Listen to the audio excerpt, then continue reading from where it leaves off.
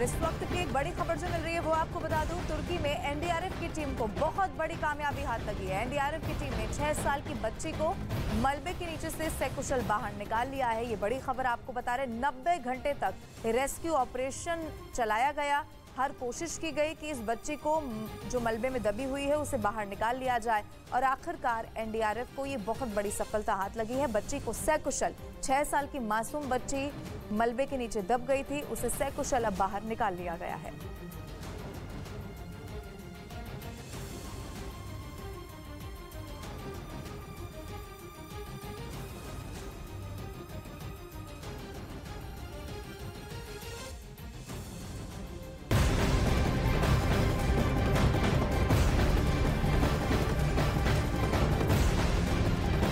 ओर से ऑपरेशन दोस्त के तहत तुर्की में मदद का अभियान चलाया जा रहा है, जिसमें एनडीआरएफ और भारतीय सेना की टीम लगातार लोगों को राहत देने और बचाने की कोशिश में जुटी हुई है। तुर्की में राहत और बचाव कार्यों में लगी। भारत की एनडीआरएफ की टीम को बड़ी सफलता हाथ लगी है।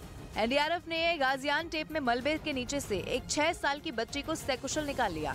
गृह मंत्री अमित शाह ने इसका वीडियो ट्विटर पर शेयर करते हुए कहा कि हमें एनडीआरएफ की टीम पर गर्व है। तुर्की में एनडीआरएफ की तीन टीमें काम कर रही हैं। वहीं तुर्की के हेटे प्रांत के स्केंद्रून में इंडियन आर्मी ने एक फ़ील्ड अस्पताल भी बनाया, जिसमें घायलों का इलाज किया जा रहा है।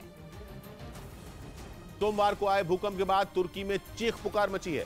मुसीबत में फंसे तुर्की के लोगों को बचाने के लिए भारत ने ऑपरेशन दोस्त शुरू कर दिया।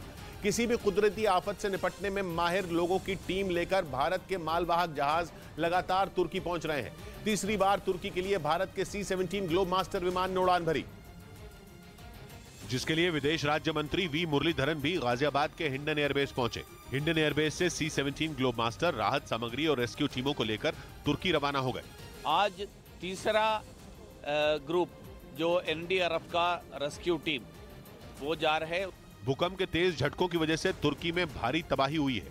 प्रधानमंत्री नरेंद्र मोदी ने तबाही के फ़ौरन बाद तुर्की की मदद का ऐलान कर दिया था।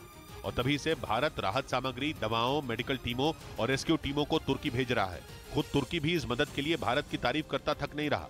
लेकिन यही बात पाकिस्तान के गले नहीं उतर रही क्योंकि एक दिन पहले ही तुर्की ने पाकिस्तान के प्रधानमंत्री शहबाज शरीफ को तुर्की आने से रोक दिया था। तुर्की ने उनकी यात्रा पर रोक उस वक्त लगाई जब शहबाज शरीफ तुर्की के लिए निकलने ही वाले थे। लेकिन जब तुर्की ने उन्हें आने से रोका तो पूरी दुनिया के सामने पाकिस्तान की फजीहत हो गई। इसलिए तुर्की की मदद के मामले में भी पाकिस्तान ने भारत से रेस लगानी शुरू कर दी। पाकिस्तान के लोग भारत की तारीफ़ करते नहीं थक रहे। इंडिया ने पहल कर दी है और इंडिया की मीशत उसको इजाज़त भी देती है।